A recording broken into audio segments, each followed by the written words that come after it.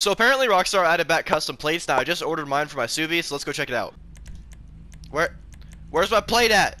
What? A few moments later. I've been trying to get this custom plate for the past like 20 minutes. It's literally nighttime now. I know it's in the game now. I was gonna put High Five 4 as my plate like it is in real life. I can't figure it out. If anybody knows what's wrong, let me know in the comments and I'll make another video on it.